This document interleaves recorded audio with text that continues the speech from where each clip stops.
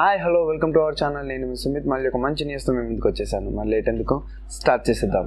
రోజుకొక కొత్త న్యూస్తో సోషల్ మీడియాలో వైరల్ అవుతున్న నాగబాబు మళ్ళీ ఒక కొత్త న్యూస్తో సోషల్ మీడియాలోకి వచ్చేసారు. ఇంతకీ అదేదో నార్మల్ టాపిక్ మాత్రం కాదు. ఈసారి డైరెక్ట్గా యాడ్ ఫిల్మే చేశారంట నాగబాబు.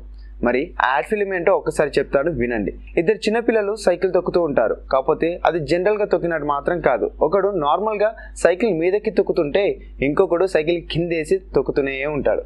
అయితే నార్మల్గా నాగబాబు అడిగితే బాబు ఏం చేస్తున్నావు? అంటే నార్మల్గా తొక్కే సైకిల్ అతను సైకిల్ తొక్కడం ఆరోగ్యానికి మంచిది అని చెప్తాడు. అదే సైకిల్ కిందేసి తొక్కుతున్న వ్యక్తిని అడిగితే సైకిల్ తొక్కితే ఆంధ్రప్రదేశ్కి మంచిది అని చెప్పి అందుకే సైకిల్ని కిందేసి తొక్కుతున్నానని చెప్తాడు. దీన్ని బట్టి అది ఎవరికి విమర్శగా తీశాడో మీకు కొత్తగా చెప్పనవసరం లేదనుకుంటా అయితే ఇంతే కాకుండా ఈ సీన్ జరుగుతున్నప్పుడు బ్యాక్గ్రౌండ్లో మన చిరంజీవి గారి పోస్టర్ ఉంటుంది. అది కూడా ఖైదీ నెంబర్ వన్ ఫిఫ్టీలో అందరిని చితకబాదిన తర్వాత ఒక స్టిల్ ఉంటుంది కదా మన రాడ్ పట్టుకొని ఆ స్టిల్ పెట్టి ఉంటుంది. మరి ఆ స్టిల్ ప్రకారంగా చూసుకున్నా ఎవడైనా రండి నేను కొట్టడానికి రెడీగా ఉన్నానని ఆ పిక్చర్ డిజైన్ చేసి మరి పెట్టి ఇలాంటి యాడ్ ఫిల్మ్ తీసాడో లేదో తెలియదు బట్ ఇది తీయడం వల్ల మాత్రం అటు డైరెక్ట్గా కాకుండా ఇండైరెక్ట్గా కౌంటర్లు వేస్తున్నట్టుగానే అనిపిస్తుంది మరి నాగబాబు. ఆ కౌంటర్ ఎవరికి వేస్తున్నారు నేను ప్రత్యేకంగా మీకు మళ్ళీ చెప్పనవసరం లేదు.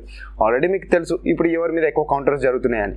ఇలా జనసేన పార్టీకి సపోర్ట్ చేస్తూ అటు పక్క పార్టీలను విమర్శించేలాగా ఈ కౌంటర్లు వేస్తున్న నాగబాబు ఇలా రాను రాను ఇంకెన్ని కౌంటర్స్ వేసి వాళ్ళని ఇబ్బంది పెడతాడో చూడాలి మరి. ఈ వీడియో కనుక మీకు నచ్చినట్లయితే లైక్ చేయండి షేర్ చేయండి కామెంట్ చేయండి. అండ్ అన్నిటికన్నా ముందు సబ్స్క్రైబ్ చేయడం అసలు మర్చిపోకండి.